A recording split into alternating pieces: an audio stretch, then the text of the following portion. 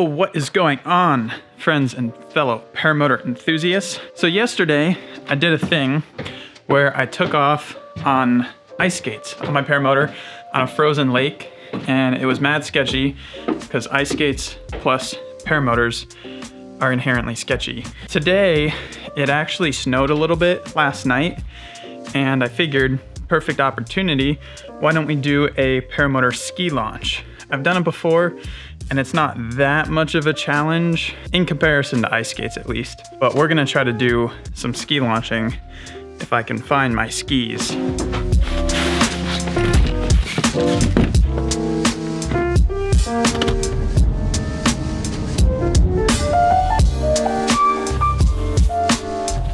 All right, so we're down here at the park and the snow situation, I would call it maybe an inch or two. It's kind of slushy because it's warmer. It's almost 40. So first I'm gonna just taxi around with the motor because it should be fun and it'll get me a little practice.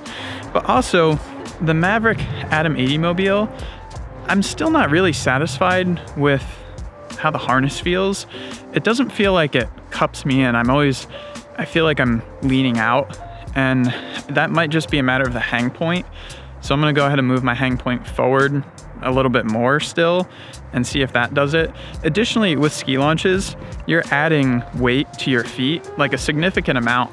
So that actually affects the hang point and will make you lean forward because of that weight. So it's a smart idea if you're doing a ski launch anyway, to put your hang point forward to counteract that. But I'm gonna do it for both the ski launch and just in general, and we'll see if we can get the harness feeling a little bit better.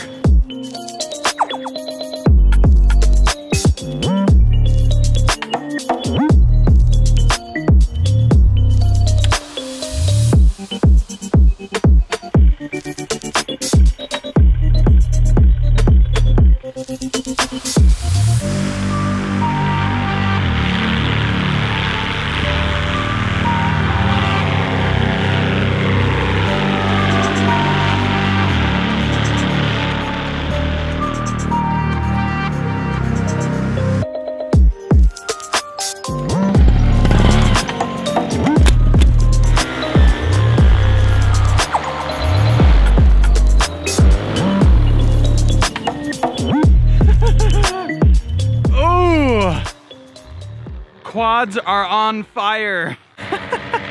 There's this tiny white dog that's staring at me like I'm an alien right now. There's a huge difference doing this on skis versus ice skates. Skis, I can literally like lean my body back to get the thrust to push me forward. Ice skates, you have no forward and aft lean. You have to like stay perfectly balanced. The other thing is ice skates, everything's just so slippery, you can fall. Skis on the other hand, way more stable. I'm gonna get my stuff together. We're gonna go for a ski launch. We'll buzz around the park, do some ski foot drags, have a good old time.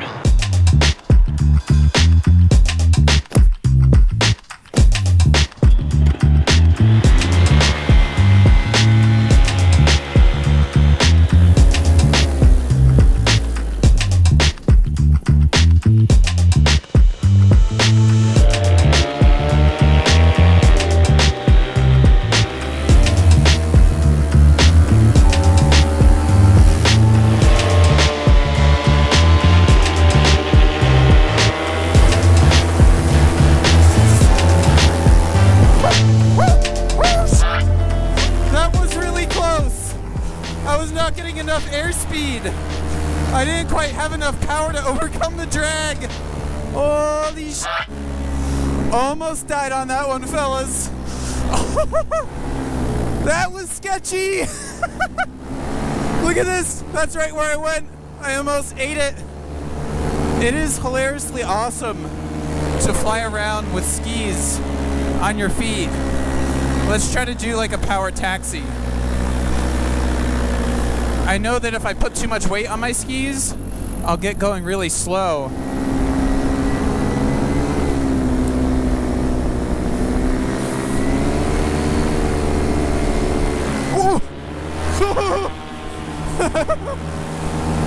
that was not it.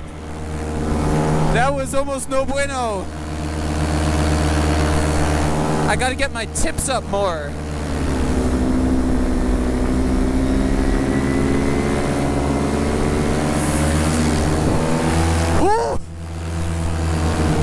I don't know what the deal is, fellas. I think it's the hang point because I still feel like I'm kind of far forward. Every time I go to get down on the ground, uh, my toes are just pointed at the ground way too much. Okay, serious problem. When I try to like go in for a foot drag, I just can't. Like as soon as I start to put my weight on the skis, I'm leaning forward. And that's not where you want to be for a proper landing. You want to get your weight like evenly distributed on the skis. That's probably why I had such a hard time getting off the ground because I was like essentially leaned forward. You know, if all else fails, I could abort my skis over the park, like just whack them off and land on my feet. I almost feel like that would be a better idea.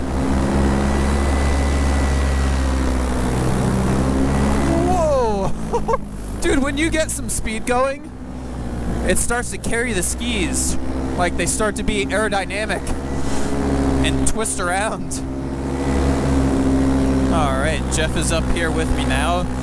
Jeff is flying his Sirocco 2, uh, and he just tied the tip steering in. So he's got 2D steering on it. Looks like he's feeling it out. It is pretty beautiful flying out here with snow, I gotta say. It's kind of cool. It's a little bumpy. It's still early in the day, so we're bumping around.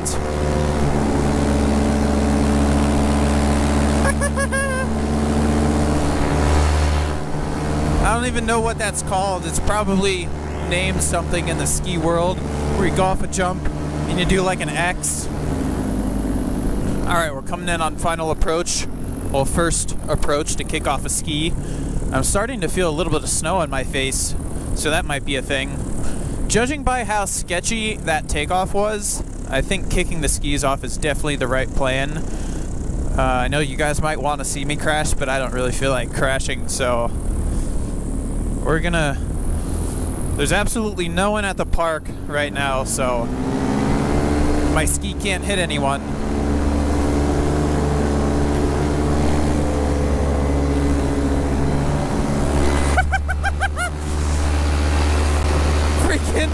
That worked well. Look at that. no more skis. Oh, I instantly feel more comfortable. All right, the question still remains. Will I face plant? Jeff is apparently not liking this weather either. He's coming in for a landing. Nice one, Jeff. Ready to watch me biff? Or not? Hopefully not.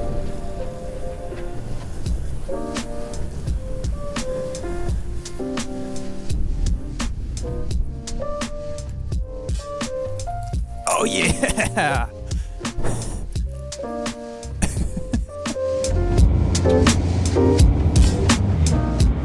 All right, that's a mission success. Turn on some lights, maybe it'll help. Uh, lessons learned for the day. Ski launching is way easier than ice skate launching. However, if you don't have your hang point dialed and your harness dialed, it can get really complicated really fast. And that's exactly what happened. So I feel like my hang point was reclined more, when I slide out of the seat, I would have had a better angle to get on my skis and land safely like I've done in the past. Um, but that was with the Scout and a different hang point, different setup. So good lessons learned. Also, when snow becomes slush, there's a whole lot of friction going on and it was hard to get enough speed to take off with a little atom. So interesting lessons. We'll have to apply it to next time when there's more snow, hopefully not as slushy. I'm gonna sign off for now.